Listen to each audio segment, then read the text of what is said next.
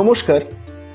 সাহিত্যের মণিমাণিক্যগুলি অনুষ্ঠানে গল্প বলার কথক ঠাকুর অডিও বুক ইউটিউব চ্যানেলে আজ শুনবেন আমাদের প্রাণের লেখক বিভূতিভূষণ বন্দ্যোপাধ্যায় রচিত উপন্যাস, ইছামতি, ষষ্ঠ পর্ব।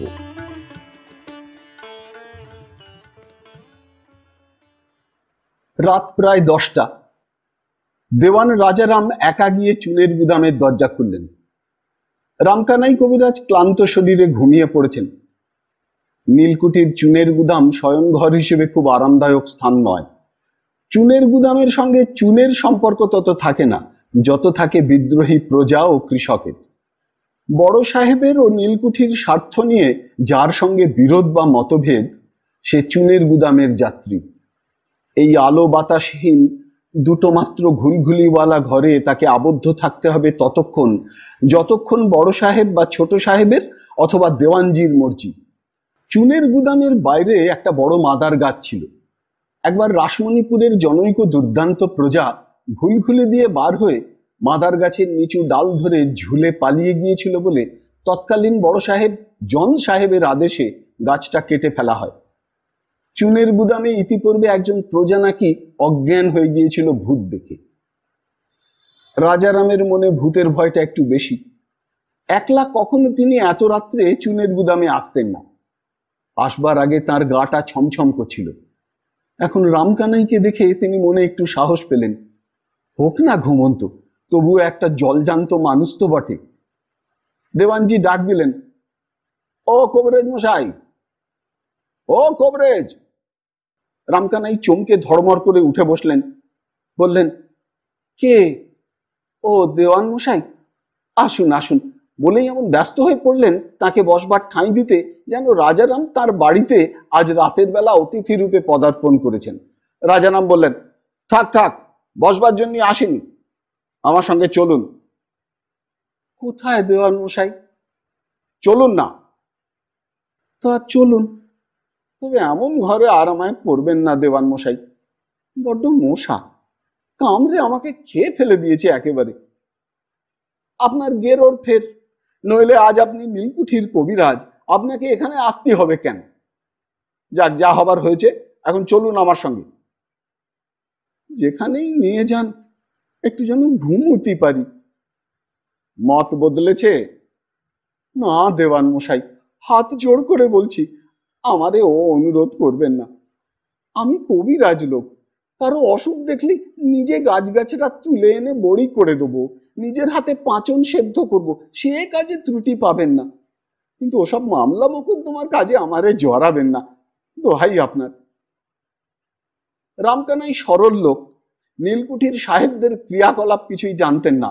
বা সাহেবদের চেয়েও তাদের এইসব নন্দীভৃঙ্গির দল যে এককাঠি সরেশ তারা যে রাত দুপুরে সাহেবদের হুকুমে ও ইঙ্গিতে বিনা দ্বিধায় অম্লান বদনে জলজ্যান্ত মানুষকে খুন করে লাশ গাজীপুরের বিলে পুঁতে রেখে আসতে পারে, তাই বা তিনি কোন চরক সুশ্রুতের পুঁথিতে পড়বেন? ছোট সাহেব একটা লম্বা বারান্দায় বসে নীলের বান্ডিলের হিসেব করছিলেন। এইসব বান্ডিল বাঁধা নীল কলকাতা থেকে আমুটি কোম্পানির বায়না করা। দিন তিনেকের মধ্যে তাদের তরফ থেকে হাউস ম্যানেজার রবার্ট সাহেব এসে নীল দেখবে। ছোট সাহেব নীলের বান্ডিলে তদারক করছে এই জন্যেই। সেখানে দাঁড়িয়ে আছে প্রসন্ন আমিন। সে খুব ভালো নীল চেনে এবং জমানবিশ কানাই গাঙ্গুলি। পেছনে দাঁড়িয়ে আছে সহিস ভজামুচি। দেওয়ানকে দেখে ছোট সাহেব বলে উঠল, আরে দেওয়ান, এসো এসো। তুমি বলো তো তিনশো তেষট্টি নম্বর আকাইপুরের নীলের বান্ডিলের সঙ্গে দেউলে, ঘোঘা, সরাবপুরের নীল মিশবে? আসল কথা, এরা নীল ভালো মন্দতে মেশাচ্ছে। সব মাঠের নীল ভালো হয় না। যারা এদের মধ্যে বিশেষজ্ঞ, তারা নীল দেখে বলে দেবে তার শ্রেণি। বলে দেবে, এ নীলের সঙ্গে ও নীল মিশিও না। আমুটি কোম্পানির দালাল ধরে ফেলে দেবে। দেওয়ান বললে, খুব মিশবে। এবছর আর কালিবর দালাল আসবে না। রবার্ট সাহেব কিছু বোঝে না। ঘোঘা আর আমাদের মোল্লার হাটি, পাঁচ পোতার নীল, মিশিয়ে দিলি কেউ ধরতে পারবে না। এই এনেছি হুজুর, আমাদের সেই কবিরাজ। ছোট সাহেব রামকানাইয়ের দিকে চেয়ে বললে, চুনের গুদাম কীরকম লাগল? রামকানাই হাত জোড় করে বললে, সাহেব মশাই, নমস্কার আঙ্কে চুনের গুদাম কেমন জায়গা? দেওয়ান রাজারাম জিভে একটা শব্দ করে হাত দুখানা তুলে বললে, হুজুর, আপনি বললেন কীরকম জায়গা? কবিরাজ তার কি জানে? সেখানে ঢুকে ঘুমুতি লেগেছে। হ্যাঁ? ঘুমুচ্ছিলে? তাহলে খুব আরামের জায়গা বলে মনে হয়েছে দেখছি। আর কদিন থাকতে চাও? আগে সাহেব মশাই কি বলছেন আমি বুঝতে পারছি না। খুব বুঝেছ। তুমি ঘুগুলো ন্যাকা সাজলি, জন ডেভিড তোমায় ছাড়বে না। মোকদ্দমায় সাক্ষী দেবে কিনা বলো? যদি দেও, তোমাকে আরও দশ টাকা এখনই মাইনে বাড়িয়ে দেবো। কেমন, রাজি? কোনো কথা বলতে হবে না। তুমি বুনো পাড়ার ছিকিষ্ট বুনো আর দু একজন লোককে লাঠি হাতে চলে যেতে দেখেছ বলবে। রাজি? আগে সাহেব মশাই। ও সাহেব মশাই বলা খাটবে না। করতে হবে, সাক্ষী দিতে হবে। তোমার উন্নতি করে দেবো। এখানে বাঁধা মাইনের কভারেজ হবে। কুড়ি টাকা মাইনে ধরে দিও দেবান জুন মাস থেকে। দেওয়ান রাজারাম তখনই পড়া পাখির মতো বলে উঠলেন, যে আজ্ঞে হুজুর। বেশ, নিয়ে যাও। কবিরাজ রাজি আছে। নিয়ে যাও ওকে। প্রসন্ন আমিন, তোমার ঘরে শোবার জায়গা করে দিতে পারবে না কবিরাজের? প্রসন্ন আমিন তটস্থ হয়ে তড়াক করে লাফিয়ে উঠে বললে হ্যাঁ হুজুর, আমার বিছানা পাতাই আছে, তাতেও উনি শুতে পারেন না হয়। রামকানাইয়ের মুখ শুকিয়ে গিয়েছে। জল তেষ্টায় তার জীব জড়িয়ে এসেছে। কিন্তু নীলকুঠিতে সাহেবের ও মুচির ছোঁয়া জল তিনি খাবেন না। কারণ এইমাত্র দেখলেন বেয়ারা শ্রীরাম মুচি ছোট সাহেবের জন্য কাঁচের বাটি করে মদ। আসলে মদ নয়, কফি। রামকানাই ভুল করছেন। তো সেটা নিয়ে এলো। সত্যিক জাতের ছোঁয়া ছোঁয়াছুঁই এখানে। না এইসব ব্রাহ্মণেরা দেখছি এখানে জাত নেই। এখানে কবিরাজি করতে হলে জল খাবেন না এখানকার, শুধু ডাব খেয়ে কাটাতে হবে। প্রসন্ন আমিন বললে, তাহলে চলুন কবিরাজ মশাই, রাত হয়েছে। দেওয়ান রাজারাম পাকালো। তিনি এই সময় বললেন, তাহলে কবিরাজ মশাইয়ের সাক্ষী দেওয়া ঠিক হলো তো? প্রসন্ন আমিন রামকানাইয়ের দিকে চাইবে। রামকানাই বললে, সাহেব মশাই, তা আমি কেমন করে দেব? সে আগেই বললাম তো দেওয়াল মশাইকে ছোট সাহেব চোখ গরম করে বললে সাক্ষী দেবে না? না সাহেব মশাই, মিথ্যে কথা বলতে আমি পারব না, দোহাই আপনার, হাত জোড় করছি আপনার কাছে। আমার বাবা ছিলেন ব্রাহ্মণ পণ্ডিত। ও, তুমি এমনি সায়স্তা হবে না, তোমার মাথার ঠিক এমনি হবে না। ভজা, নফরকে ডাক দাও, দশ ঘাস শ্যামচাঁদ কষে দিক। নফরমুচি লম্বা জোয়ান নিষ্কালো লোক, সে অনেক লোককে নিজের হাতে খুন করেছে। কুঠির বাইরে আশপাশ গ্রামে নফরকে সবাই ভয় করে। নফর বোধহয় ঘুমুচ্ছিল। ভজার পেছনে পেছনে এসে চোখ মুছতে মুছতে এলো। ছোট সাহেব রামকানাইয়ের দিকে চেয়ে বললেন কেমন লাগাবে, শ্যামচান? আগে সাহেব মশাই, তাহলে আমি মরে যাব। আমারে মারতি বলবেন না। আষাঢ় মাসে বাত শ্লেষা হয়ে আমার শরীর বড় দুর্বল। মরে গেলে তাতে আমার কিছুই হবে না। নিয়ে যাও, নফর। নফর বললে, যে আজ্ঞে হুজুর। নফর এসে রামকানাইয়ের হাত ধরে হিড় করে টেনে নিয়ে চলল। যাবার সময় দেওয়ানজির দিকে তাকিয়ে বলল, তাহলে আস্তা বলে নিয়ে যাই? এই সময় দেওয়ানের দিকে এসে সামান্যক্ষণের জন্য স্থির দৃষ্টিতে চেয়ে রইল। দেওয়ান বললে, নিয়ে যাও।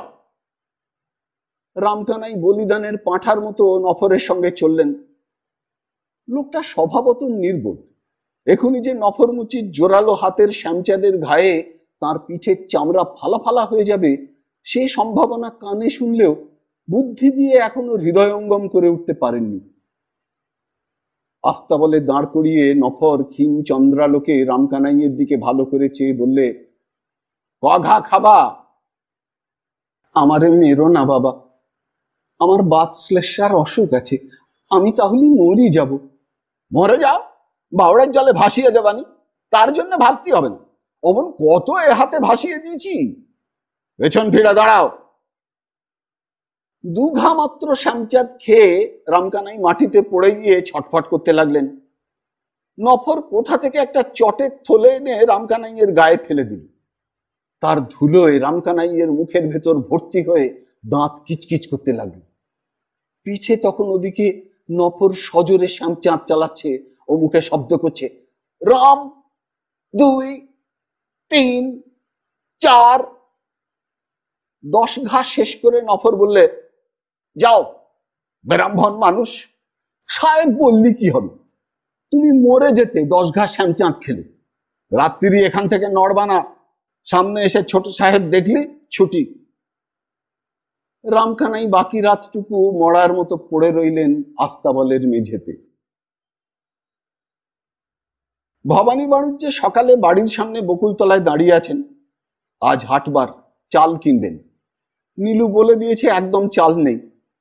এমন সময় তিলু এক বছরের খোকাকে এনে তার কাছে দিতে গেল। ভবানী বললেন, এখন দিও না, আমি একটু মামার কাছে যাব। যাও, নিয়ে যাও। খোকা কিন্তু ইতিমধ্যে মার কোল থেকে নেমে পড়ে ভবানীর কোলে যাবার জন্য দুহাত বাড়াচ্ছে। তিলু নিয়ে যাবার চেষ্টা করতে সে কাঁদতে লাগল। ও ছোট্ট ডান হাতখানা বাড়িয়ে বাবাকে ডাকতে লাগল। দিয়ে যাও দিয়ে যাও, দাঁড়াও, ওই তো দিনু বুড়ি আসছে, দেখে নাও তো চালটা। ভবানী ছেলেকে কোলে করলেন। খোকা আনন্দে তার কান ধরে বলতে লাগল, ই আঙুল দিয়ে পথের দিকে দেখিয়ে দিলে। ভবানী বললেন, না, এখন তোমার বেড়াবার সময় নয়, ও বেলা যাব। খোকা ওসব কথা বোঝে না। সে আবার আঙুল দিয়ে পথের দিকে দেখিয়ে বললে ই না এখন না। তিলু বললে যাচ্ছেন তো মামা শ্বশুরের ওখানে নিয়ে যান না সঙ্গে। খোকা ততক্ষণে বাবার পৈতের গোছ ছোট্ট মুঠোতে ধরে পথের দিকে টানছে আর চেঁচিয়ে চেঁচিয়ে বলছে "অ্যা, অ্যা, নবু নবু ও। পরেই কান্নার সুর তিলু বললে যাও যাও। আহা, আপনার সঙ্গে বেড়াতে ভালোবাসে। কেন, ওর তিন মা? আমি না হলে চলে না? না গো, রান্নাঘরে যখন থাকে, তখন থেকে থেকে কেবল আঙুল তুলে বাইরের দিকে দেখায় মানে আপনার কাছে নিয়ে যেতে বলে। এমন সময় দিনু বুড়ি চালের ধামা কাঁধে করে নিয়ে ওদের কাছাকাছি এসে পড়তেই ওরা বললে, দেখি কি চাল? দিনু বুড়ির বয়স আশির ওপর। চেহারা ভারতচন্দ্র বর্ণিত জরতি বেশিনী অন্নদার মতো। এমনকি হাতের ছোট্ট লড়িটি পর্যন্ত। ওদের কাছে এসে একগাল হেসে ধামা নামিয়ে বললে, ডবল নাগরা, দিদিমণি। আর কে জামাই? তিলু বললে হ্যাঁ গো, দর কি? ছ পয়সা। না, একানা করে হাটে দর গিয়েছি। না, দিদিমণি, তোমাদের খেয়ে মানুষ, তোমাদের ফাঁকি দেবানি। ছ পয়সা না দাও পাঁচ পয়সা দিও। এক মুঠো নিয়ে চিবিয়ে দেখো কেমন মিষ্টি। আকর করার মতো। চলো বাড়ির মধ্যে, পয়সা কিন্তু বাকি থাকবে। ওই দেখো, তাতে কি হয়েছে? ও বেলা দিও। ও বেলা না, মঙ্গলবারের ইদিকে হবে না। তাই দিও। এই ফাঁকে খোকা খপ করে এক মুঠো চাল ধামা থেকে উঠিয়ে নিয়েই মুখে পুড়ে দিলে। কিছু কিছু পড়ে গেল মাটিতে। ভবানী ওর হাত থেকে চাল কেড়ে নিয়ে কোলে নিয়ে বললেন, হাঁ করো হাঁ করো খোকা। খোকা অমনি আকাশ পাতাল বড় হাঁ করলে। এটা তিলু খোকাকে শিখিয়েছে। কারণ যখন তখন যা তা সে দুই আঙুলে খুঁটে তুলে সর্বদা মুখে পুড়ছে। ওর মা বলে, হাঁ করো খোকন, নক্কি ছেলে। কেমন হাঁ করে? অমনি খোকা আকাশ পাতাল হাঁ করে অনেকক্ষণ থাকবে। সেই ফাঁকে ওর মা মুখে আঙুল পুরে মুখের জিনিস বার করে ফেলবে। আজকাল সে হাঁ করে বলে আ ওর মা বলে থাক থাক অত হাঁ করতে হবে না ভবানী বাণিজ্যে খোকনের মুখ থেকে আঙুল দিয়ে সব চাল বের করে ফেলে দিলেন এমন সময় পথের ওদিক থেকে দেখা গেল ফণি চক্রবর্তী আসছেন পেছনে ভবানীর মামা চন্দ্র চাটুর্য ভবানী বললেন তিলু তুমি দিনু বুড়িকে নিয়ে ভেতরে যাও খোকাকেও নিয়ে যাও। ওরা দুজন কাছে আসছেন। তিলু খোকাকে নিতে গেল, কিন্তু সে বাবার কোল আঁকড়ে রইল। দু হাতে বাবার গলা জাপটে ধরে, মুখে তারস্বরে প্রতিবাদ জানাতে লাগল। তিলু বললে, ও আপনার কোল থেকে কারও কোলে যেতে চায় না, আমি কি করব? ভবানী হাসলেন, এ খোকাকে তিনি কত বড় দেখলেন এক মুহূর্তে। বিজ্ঞ পণ্ডিত ছেলে টোল খুলে কাব্য, দর্শন, ভক্তিশাস্ত্র পড়াচ্ছে ছাত্রদের। সৎ, ধার্মিক, ঈশ্বরকে চেনে। হবে না? তার ছেলে কি না? খুব হবে। দেশে দেশে ওকে চিনবে, জানবে। সেই মুহূর্তে তিলুকেও দেখলেন। দিনু বুড়ির আগে আগে চলে গিয়ে বাড়ির ছোট্ট দরজার মধ্যে ঢুকে চলে গেল। কি নতুন চোখেই ওকে দেখলেন যেন। মেয়েরাই সেই দেবী যারা জন্মের দ্বার পথের অধিষ্ঠাত্রী অনন্তের রাজ্য থেকে সসীমতার মধ্যেকার লীলা খেলার জগতে অহরহ আত্মাকে নিয়ে আসছে। তাদের নবজাত ক্ষুদ্র দেহটিকে কত যত্নে পরিপোষণ করছে, কত বিনিদ্র উদ্বিগ্ন রাত্রির ইতিহাস রচনা করে জীবনে জীবনে, কত নিঃস্বার্থ সেবার আকুল অশ্রুরাশিতে ভেজা সেই ইতিহাসের অপঠিত অবজ্ঞাত পাতাগুলো। ভবানী বললেন, শুনো তিলু, কি? খোকাকে নেবে? ও যাবে না বললাম যে। একটু দাঁড়াও, দেখি। দাঁড়ান না ওখানে। আহা, ঢং। মুচকে হেসে এসে হেলে দুলে ছোট্ট দরজা দিয়ে বাড়ি ঢুকল কি শ্রী মা হওয়ার মহিমা ওর সারা দেহে অমৃতের বসুধারা সিঞ্চন করেছে। ফণি চক্রবর্তী বললেন, বসো বাবাজি। সবাই মিলে বসলেন। ভবানী বাণিজ্যের তামাক সেজে মামা চন্দ্র চাটুর্যের হাতে দিলেন। ফণি চক্রবর্তী বললেন, বাবাজি, তোমাকে একটা কাজ করতে হবে। কি মামা? তোমাকে একবার আমার বাড়ি যেতে হবে। আমি একবার গয়া কাশি যাব ভাবছি। তোমার মামাও আমার সঙ্গে যাবেন। তুমি তো বাবা সব জানো ওদিকের পদঘাট। কোথা দিয়ে যাব, কি করব? হেঁটে যাবেন? নয়তো বাবা পালকি কে আমাদের জন্য ভাড়া করে নিয়ে আসছে। হেঁটেই যাব। এখান থেকে যাবেন? ওরকম করে বললে হবে না। ঈশ্বর বষ্টম শেথ আমাদের সঙ্গে যাবে। সে কিছু কিছু জানে। তবে তুমি হলে গিয়ে জাহাজ। তোমার কথা শুনলি? তুমি ওবেলা আমাদের বাড়ি গিয়ে চাল ছোলা ভাজা খাবে। অনেকে আসবে শুনতি। ভবানী যে বাড়ির মধ্যে এসে তিলুকে বললেন, ওগো, ভূতের মুখে রাম নাম। কি গা? ফণি চক্রবর্তী আর মামার চন্দ্র চাটুর্যে নাকি যাচ্ছেন বয়া কাশি এবার তোমার দাদা না বলে বসেন যে তিনিও যাবেন। তিলুর পেছনে পেছনে নীলু বিলু এসে দাঁড়িয়েছিল। নীলু বললে, কেন? দাদা বুঝি মানুষ না? বেশ তো। মানুষ তো বটেই। তবে আমি আর সকালবেলা গুরু নিন্দাটা করব। আমার মুখ দিয়ে আর কোনো কথা নাই বা বেরুলো। বিলু বললে, আহারে, কি যে কথার ভঙ্গি। কবির গুরু, ঠাকুর হরু হরু ঠাকুর এলেন। দিদি কি বলো? তিলু চুপ করে রইল। স্বামীর সঙ্গে তার কোনো বিষয়ে দুমত নেই। থাকলেও কখনো প্রকাশ করে না। গ্রামের লোকেও তিলুর স্বামী ভক্তি নিয়ে বলা বলি করে। এমনটি নাকি এদেশে দেখা যায় না? দু একজন দুষ্ট লোকে বলে, আহা, হবে না। বলে, কুলিনের কন্যে আমি নাগর খুঁজে ফিরি, দেশ দেশান্তরে তাই ঘুরে ঘুরে মরি। কুলিন কন্যের ভাতার জুটলো বুড়ো বয়সে, তাই আবার ছেলে হয়েছে। ভক্তি কি অমনি আসে? যা হতো না তাই পেয়েছে। ওদের বড় ভাগ্যি, বুড়ো ধুমড়ি বয়সে বর জুটেছে।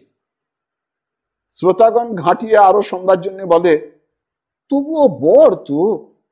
হ্যাঁ বর বই কি? তার আর ভুল। তবে কি তবে?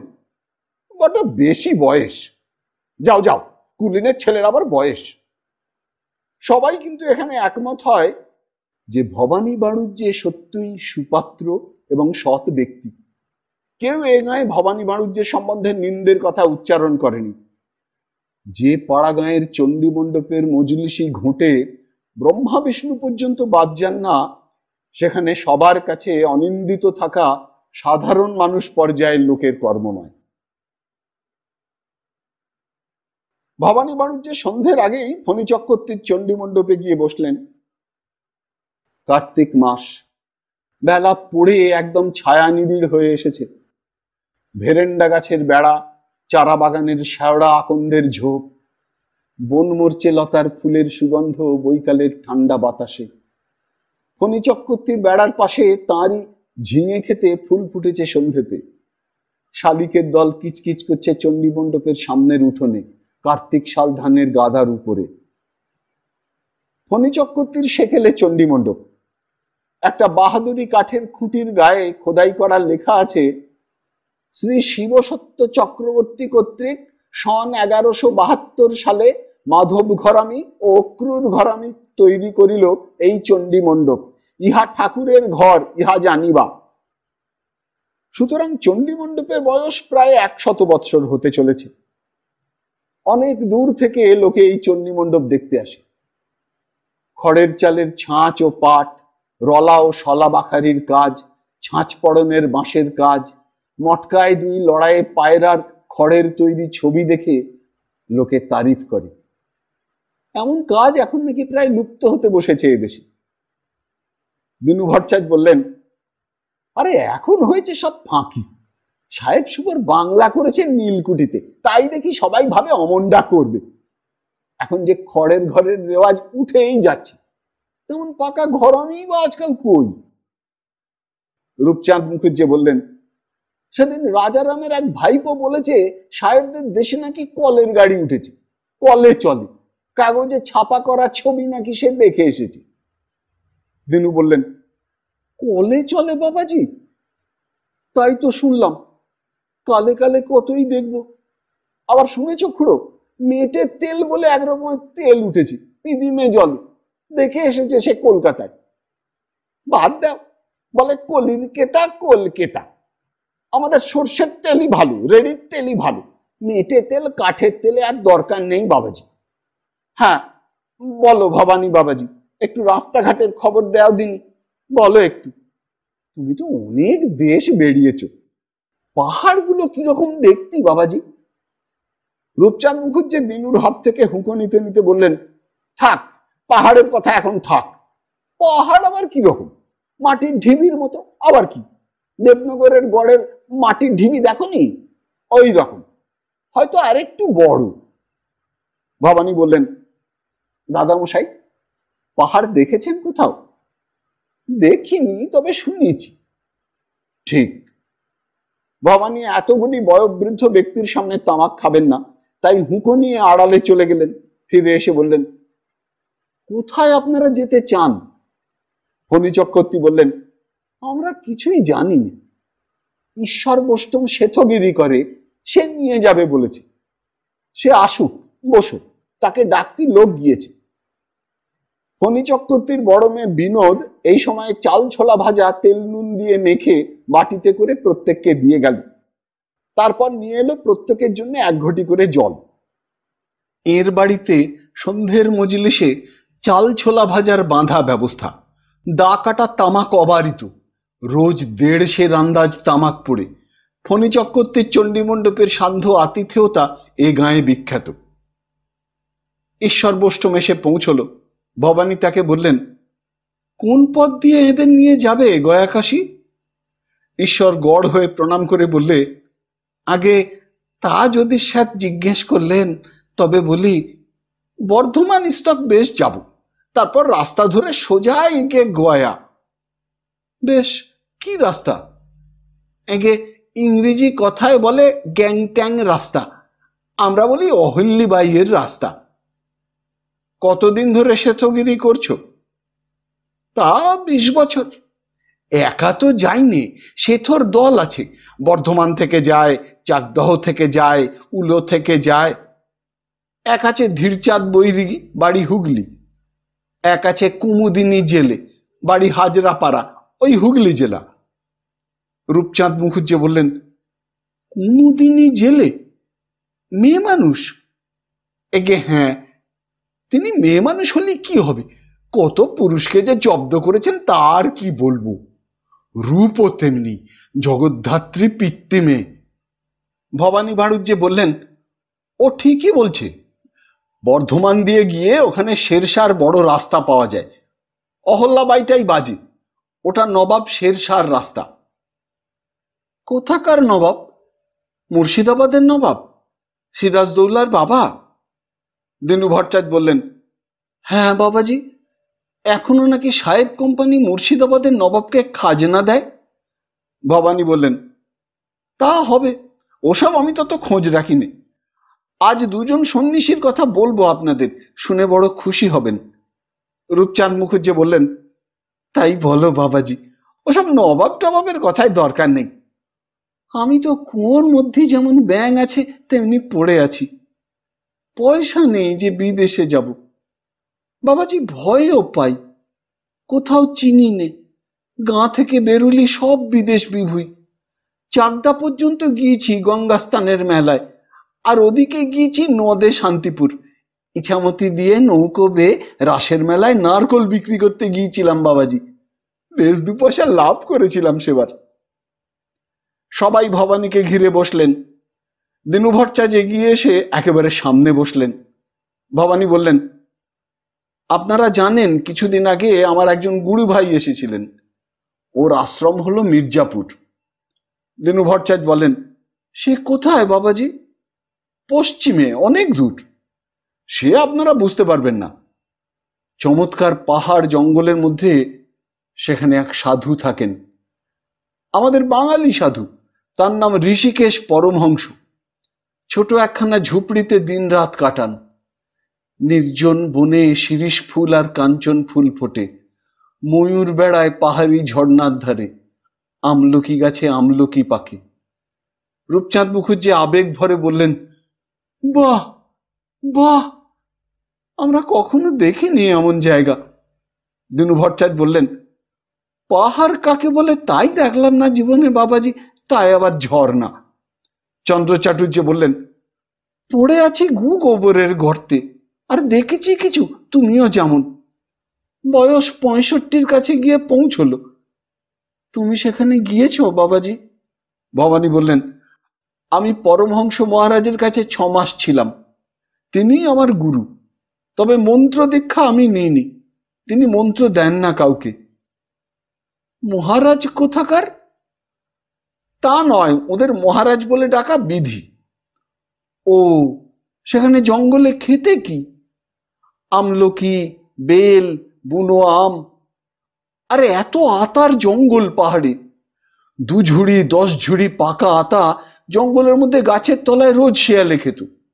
সুমিষ্ট আতা। তেমন এখানে চোখেও দেখেননি আপনারা। রূপচাঁদ মুখুজ্জে বললেন, তাই বলো বাবাজি ঈশ্বর বষ্টমকে সেই হদিশটা দেও দেখি, খুব করে আতা খেয়ে আসি। চন্দ্র চাটুর্য বললেন, আরে দূর করো আতা। ওইসব সাধু সন্ন্যাসীর দর্শন পেলে তো ইহজন্ম সার্থক হয়ে গেল। বয়স হয়েছে আর আতা খেলে কি হবে ভায়া? তারপর বাবাজি? তারপর সেখানে কাটালুম ছ মাস। সেখান থেকে গেলাম বিঠুর, বাল্মীকি আশ্রমে। রূপচাঁদ মুখুজ্জে বললেন, বাল্মীকি মুনি, যিনি মহাভারত লিখেছিলেন? দিনু ভট্টাচার্য বললেন, তবে তুমি সব জানো, বাল্মীকি মুনি মহাভারত লিখতে যাবেন কেন? লিখেছিলেন রামায়ণ। ঠিক। তারপর সে আশ্রমেও এক সাধুর সঙ্গে কিছুদিন কাটালাম। রূপচাঁদ বললেন, সেখানে যাবার হদিশটা দেও বাবাজি। সে গৃহী লোকের দ্বারা হবে না। বিশেষ করে ঈশ্বর বষ্টমের সঙ্গে গেলে হবে না। ও আর কত দূর আপনাদের নিয়ে যাবে?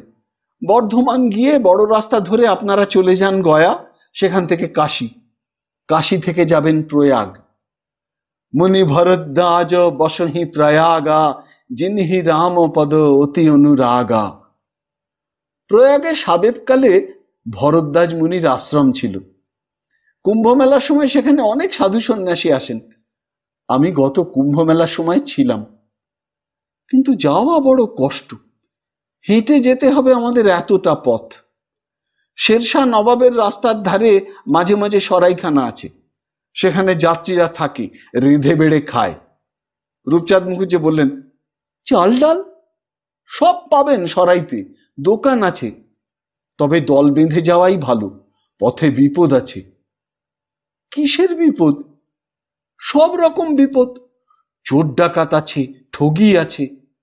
বর্ধমান ছাড়িয়ে গয়া পর্যন্ত সারা পথে দারুণ বন, পাহাড়, বড় বড় বাঘ, ভাল্লুক, এসব আছে। ও বাবা! ঈশ্বর বষ্টম বললে, উনি ঠিকই বলেছেন সেবার খাবরাপোতা থেকে একজন যাত্রী গিয়েছিল গয়ায় যাবে বলে। ওদিকের এক জায়গায় সন্ধেবেলা তিনি বললেন, হাত মুখ ধুতে যাব। আমার কথা শুনলেন না। আমরা এক গাছতলায় চব্বিশ জন আছি। তিনি মাঠের দিকে পলাশ ঘাচের ঝোপের আড়ালে ঘটি নিয়ে চললেন। ব্যাস, আর ফিরলেন না। বাঘে নিয়ে গেল। সবাই একসঙ্গে বলে উঠলেন, বলো কি?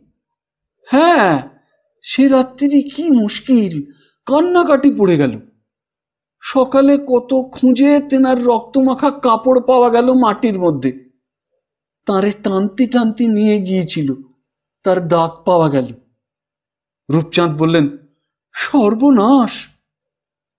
এমন সময় দেখা গেল নালু পাল এদিকে আসছে। নালু পালকে একটা খেজুর পাতার চাটাই দেওয়া গেল বসতে। কারণ সে আজকাল বড় দোকান করেছে, ব্যবসাতে উন্নতি করেছে, বিয়ে থাওয়া করেছে সম্প্রতি। তার দোকান থেকে ধারে তেল, নুন এদের মধ্যে অনেককেই আনাতে হয়। তাকে খাতির না করে উপায় নেই। দিনু বললেন, এসো নালু, বসো। কি মনে করে? নালু গড় হয়ে সবাইকে একসঙ্গে প্রণাম করে জোর হাতে বললে, আমার একটা আবদার আছে, আপনাদের রাখতে হবে। আপনারা নাকি তীর্থে যাচ্ছেন শুনলাম। একদিন আমি ব্রাহ্মণ তীর্থযাত্রী ভোজন করাবো। আমার বড় স্বাদ। এখন আপনারা অনুমতি দিন, আমি জিনিস পাঠিয়ে দেবো চক্রবর্তী মশাইয়ের বাড়ি। কি কি পাঠাবো হুকুম করেন? চন্দ্র চাটুর্যে আর ফণি চক্রবর্তী গায়ের মাতব্বর। তাদের নির্দেশের ওপর আর কারও কথার বলার জো নেই এই গ্রামে। এক অবশ্যই রাজারাম রায় ছাড়া। তাকে নীলকুঠির দেওয়ান বলে সবাই ভয় করলেও সামাজিক ব্যাপারে কর্তৃত্ব নেই। তিনিও কাউকে বড় একটা মেনে চলেন না। অনেক সময় যা খুশি করেন। সমাজপতিরা ভয়ে চুপ করে থাকেন। চন্দ্র চাটুর্যে বললেন, কি ফলার করাবে? নালু হাত জোড় করে বললে, আগে যা হুকুম। আদমন সরু চিড়ে, দই, খাঁড় গুড়, ফেনি বাতাসা, কলা, আখ, মঠ আর ফণি চক্রবর্তী বললেন, মুড়কি। মুড়কি কত? দশের মঠ কত? আড়াই সের দিও। কেষ্টময়রা ভালো মঠ তৈরি করে। ওকে আমাদের নাম করে বলো শক্ত দেখে কড়া পাকের মঠ করে দিলে ফলারের সঙ্গে ভালো লাগবে। চন্দ্র চাটুর্য বললেন, দক্ষিণে কত দেবে ঠিক করো। আপনারা কি বলেন? তুমি বলো ফণি ভাইয়া সবই তো আমি বললাম, এখন তুমি কিছু বলো। ফণি চক্রবর্তী বললেন, এক সিকি করে দিও আর কি। নালু বললে বড্ড বেশি হচ্ছে কর্তা, মরে যাব। বিশ জন ব্রাহ্মণকে বিশ সিকি দিতে হলি মরবে না। আমাদের আশীর্বাদে তোমার ভালোই হবে। একটি ছেলেও হয়েছে না? আগে সে আমার ছেলে নয়, আপনারই ছেলে। চন্দ্র চাটুর্য অন্যদিকে মুখ ফিরিয়ে হাসলেন। নালুপাল শেষে একটি দুয়ানি দক্ষিণীতে রাজি করিয়ে বাইরে চলে গেল। বোধহয় তামাক খেতে। এইবার চন্দ্র চাটুর্য বললেন হ্যাঁ ভাইয়া। নালু কি বলে গেল? কি? তোমার স্বভাব চরিত্রের এতদিন যাই থাক, আজকাল বুড়ো বয়সে ভালো হয়েছে বলে ভাবতাম। নালুর বউয়ের সঙ্গে ভাবসাপ কতদিনের? সবাই হো হো করে হেসে উঠল। রাগে ফণি চক্রবর্তী জোরে জোরে তামাক টানতে টানতে বললেন, ওই তো চন্দ্রদা, এখনও মনের ছন্দ গেল না। চন্দ্র চ্যাটার্জি কিছুক্ষণ পরে ভবানীকে বললেন, বাবা নালুপালের ফলার কবে হবে তুমি দিন ঠিক করে দাও। ভবানী বাড়ুজ্য বললেন, নালুপালের ফলারের কথায় মনে পড়ল মামা, একটা কথা। ঝাঁসির কাছে ভরসুত বলে একটা জায়গা আছে। সেখানে অম্বিকা দেবীর মন্দিরে কার্তিক মাসে মেলা হয় খুব বড়। সেখানে আছি, ভিক্ষে করে খাই। কাছে এক রাজার ছেলে থাকেন। সাধু সন্ন্যাসীর বড় ভক্ত। আমাকে বললেন, কি করে খান? আমি বললাম, ভিক্ষে করি। তিনি সেদিন থেকে দুজনের উপযুক্ত ভাত, রুটি, তরকারি, দই, পায়েস, লাড্ডু পাঠিয়ে দিতেন। যখন খুব ভাব হয়ে গেল, তখন একদিন তিনি তার জীবনের কাহিনী বললেন আমার কাছে। জয়পুরের কাছে উরিয়ানা বলে রাজ্য আছে। তিনি তার বড় রাজকুমার। তার বাপের আরও অনেক বিয়ে, অনেক ছেলে পিলে মিতাক্ষরা মতে বড় ছেলেই রাজ্যের রাজা হবে বুড়ো রাজার পরে। তাই জেনে ছোট রানী সৎ ছেলেকে বিষ দেয় খাবারের সঙ্গে। তিনু ভট্টাচ বলে উঠলেন, এ যে রামায়ণ, বাবাজি! তাই। অর্থ আর যশ মান বড় খারাপ জিনিস, মামা। সেই জন্যই ওসব ছেড়ে দিয়েছিলাম। তারপর শুনুন, এমন চক্রান্ত আরম্ভ হলো রাজবাড়িতে যে সেখানে থাকা আর চলল না। তিনি তার স্ত্রী পুত্র নিয়ে ভরসুত গ্রামে একটা ছোট বাড়িতে থাকেন। নিজের পরিচয় দিতেন না কাউকে। আমার কাছে বলতেন, রাজা হতে তিনি আর চান না। রাজা রাজরার কাণ্ড দেখে তার ঘেন্না হয়ে গিয়েছে রাজপদের উপর ফণি চক্রবর্তী বললেন, তখনও তিনি রাজা হননি কেন? বুড়ো তখনও বেঁচে, তার বয়স প্রায় আশি। এই ছেলেই আমার সমবয়সী। আহা, অনেক দিন পরে আবার সে কথা মনে পড়ল। অম্বিকা দেবীর মন্দিরে পূর্ব দিকের পাথর বাঁধানো চাতালে বসে জ্যোৎস্না রাত্রে দুজনে বসে বসে গল্প করতাম। সেসব কি দিনই না গিয়েছে। সামনে মস্ত বড় পুকুর, পুকুরের ওপারে রামজির মন্দির। কি সুন্দর জায়গাটি ছিল। তার ছোট সৎমা বীজ দিয়েছিল খাবারের সঙ্গে। কেবল এক বিশ্বস্ত চাকর জানতে পেরে তাকে খেতে বারণ করে। তিনি খাওয়ার ভান করে বলেন যে তার শরীর কেমন করছে, মাথা ঝিমঝিম করছে। এই বলে নিজের ঘরে গিয়ে শুয়ে পড়েন। ছোট সৎমা শুনে হেসেছিল। তাও তিনি শুনেছিলেন সেই বিশ্বস্ত চাকরের মুখে। সেই রাত্রেই তিনি রাজবাড়ি থেকে পালিয়ে আসেন। কারণ শুনলেন ভীষণ ষড়যন্ত্র চলেছে ভেতরে ভেতরে। ছোট রানীর দল তাকে মারবেই। বুড়ো রাজা অকর্মণ্য। ছোট রানীর হাতের খেলার পুতুল। বেনু ভট্টাচ বললেন, না পালালি মঘা, এড়াবি কঘা। অমন সৎমা সব করতে পারে। বাবা, শুনেও গা কেমন করে?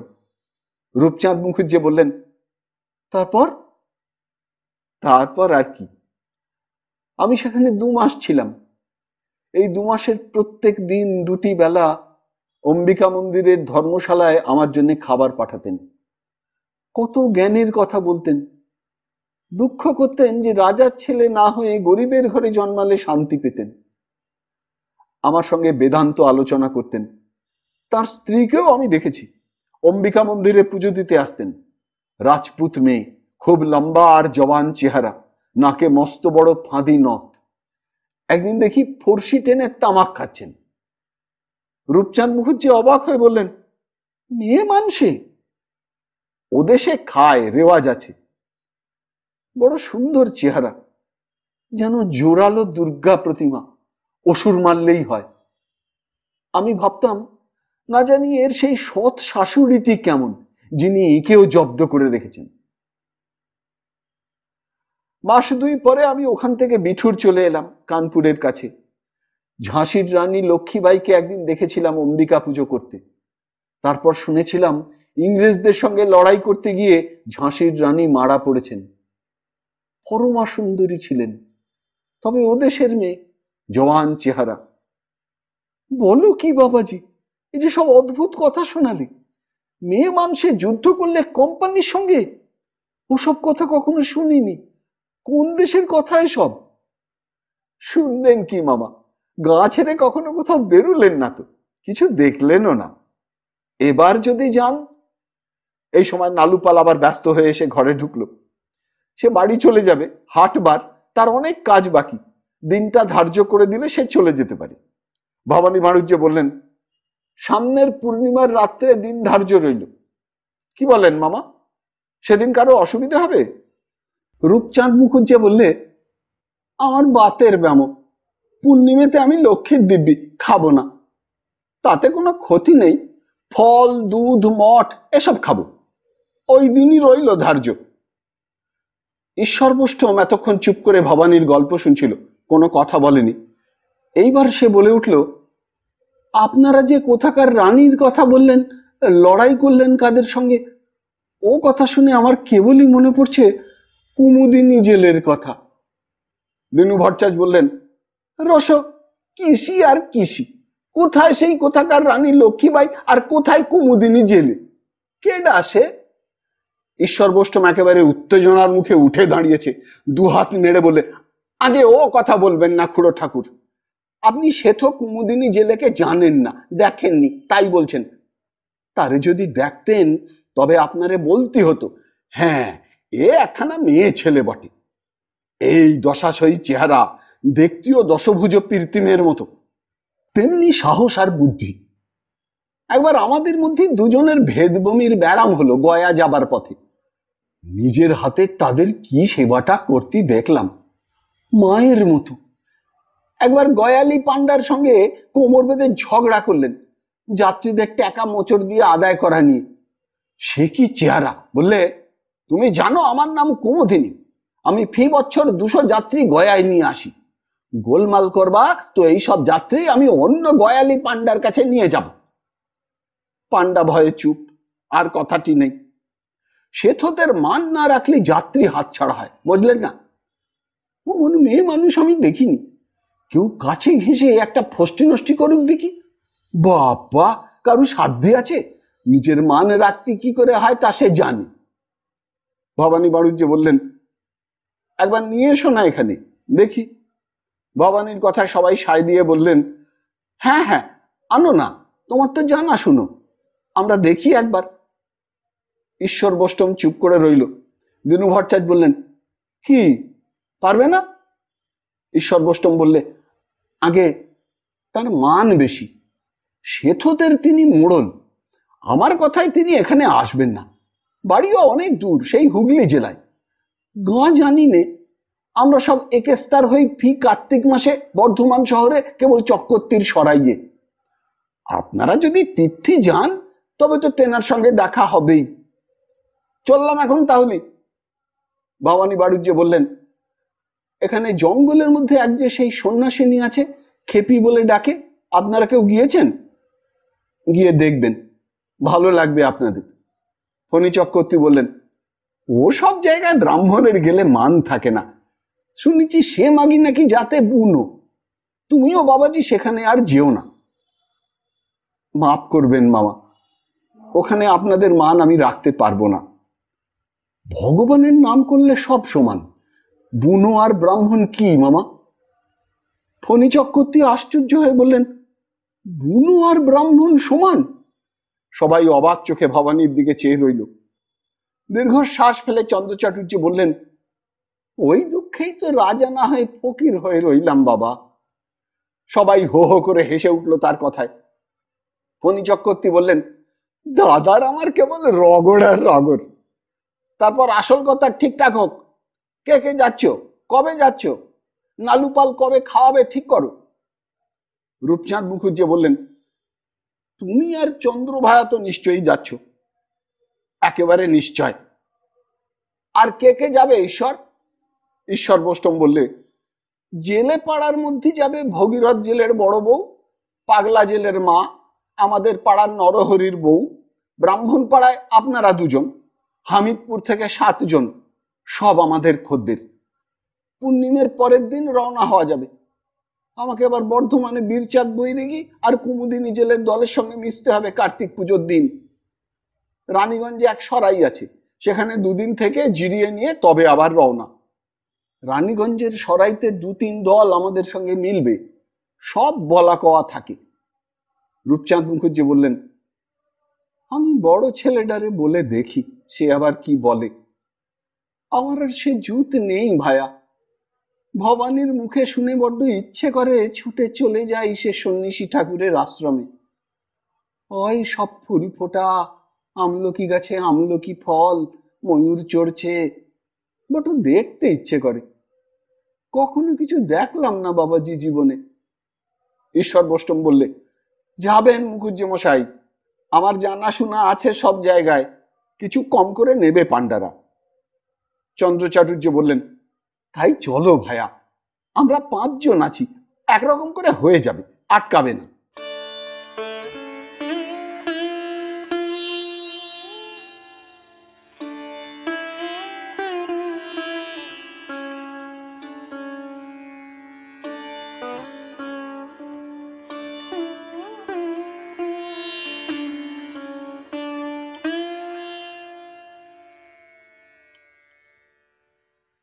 শুনলেন। বিভূতিভূষণ বন্দ্যোপাধ্যায় রচিত উপন্যাস, ইছামতি, ষষ্ঠ পর্ব। যদি এই অনুষ্ঠানটি আপনার ভালো লেগে থাকে, তবে অবশ্যই একটি লাইক দিয়ে আমায় উৎসাহিত করবেন। যারা এখনও আমার এই চ্যানেলটিকে সাবস্ক্রাইব করেননি, তারা অনুগ্রহ করে সাবস্ক্রাইব বোতামটি টিপে আমার এই চ্যানেলটিকে সাবস্ক্রাইব করে নেবেন এবং ভিডিওর কমেন্ট বক্সে আপনার মূল্যবান মতামত জানিয়ে চ্যানেলটিকে আরও এগিয়ে নিয়ে যেতে আমায় সাহায্য করবেন। ভালো থাকুন, পাশে থাকুন, সুস্থ থাকুন, আর শুনতে থাকুন সাহিত্যের মণিমাণিক্যগুলি অনুষ্ঠানটি। নমস্কার।